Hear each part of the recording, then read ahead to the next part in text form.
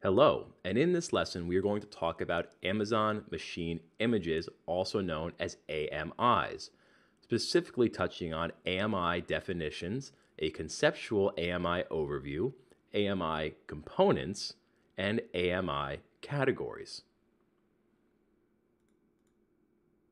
So, what is AMI? A simplified definition is a pre configured package required to launch an EC2 instance. So, the pre configured package required to launch a virtual server in the Amazon cloud, including an operating system, most importantly, software packages, and other required settings. For the AWS definition, an Amazon machine image provides the information required to launch an instance, which is a virtual server in the cloud. You specify an AMI when you launch an instance, and you can launch as many instances from an AMI as you need. You can also launch instances from as many different AMIs as you need. So, the important thing here to understand is that AMIs are a required component of an EC2 instance, and it is the basic software package that you install on the instance, primarily its operating system. And you can launch as many EC2 instances as you like from the exact same AMI. So to understand AMIs conceptually, let's take a look at its components. And it has three main components, which is a root volume template, and this is what includes your operating system and any application software that may be included, launch permissions, and block device mapping or EBS hard drive mapping. So if you think about an EC2 instance or a Linux EC2 instance for the root volume template, that would mean the Amazon Linux operating system including software packages such as Apache Web Server. And then also for block device mapping, this may be EBS mapping to various volumes. Now, the nice thing, or one of the main benefits of Amazon Machine Images, is that you can configure these components any way that you like and then make your own Amazon Machine image from that template. And when you create an AMI, you are essentially just creating a template that you can use to launch another EC2 instance that has the exact same components as the original. So if I create a Linux EC2 instance with these AMI settings, I can then create my own machine image of this instance.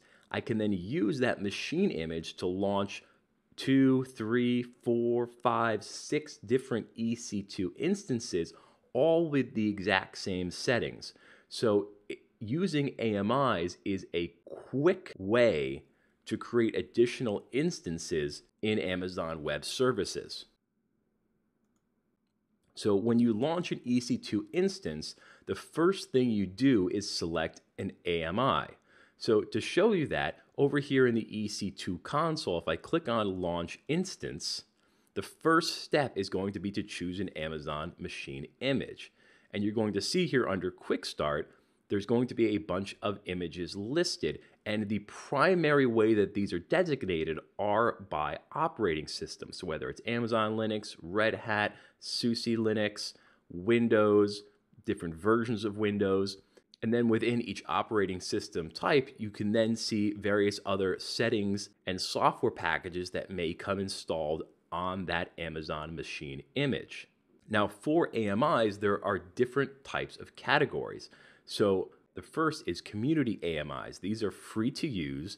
And generally, with these AMIs, you are just selecting the OS that you want, meaning that's the primary reason why you would use the community AMIs for a specific operating system and basic installed software packages and settings. And those can be viewed either under Quick Start or by clicking on Community AMIs, for which then you can filter down and select things specific to what your needs may be.